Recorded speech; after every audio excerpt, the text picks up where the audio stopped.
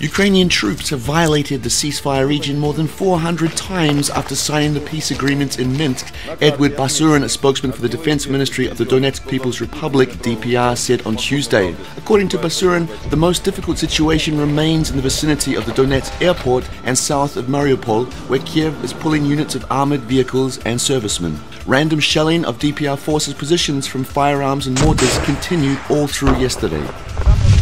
An accident involving two of the APCs on the way from Kiev to the town of Berezan in the Kiev region resulted in the death of a Ukrainian soldier. Two APCs connected by a rigid tow hitch jackknifed, sending the leading vehicle to the left and the towed APC to the right, where it flipped and fell into a ditch. The driver of the leading APC, who reports say lost control of his vehicle, was killed. The purchase of a group of antiquated AT-105 Saxon armored personnel carriers from the United Kingdom was hailed by Ukrainian leadership as a major boost to the country's military. But even British military equipment can't protect pro-Kiev soldiers from their tactical genius.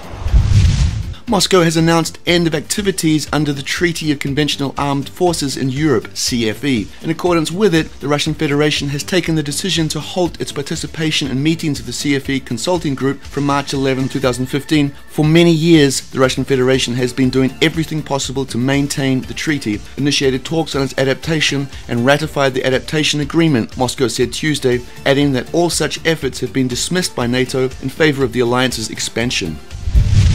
Following the Duma, or Russian parliament, President Vladimir Putin has signed the ratification of a law that sanctions Russian participation in the $100 billion BRICS Bank on Monday. The BRICS Bank, Putin has said, will become one of the largest multilateral financial development institutions in the world. The BRICS Bank, launched last year, will fund infrastructure projects in Brazil, Russia, India, China, and South Africa and challenge the dominance of the Western led World Bank and IMF. The end of activities under the Treaty on CFE and the participation in BRICS Bank are only a few of the many marks of US's unipolar world disintegration. Washington has ignored international rules and cheated in the game for far too long, so some of the players have just reshuffled the cards.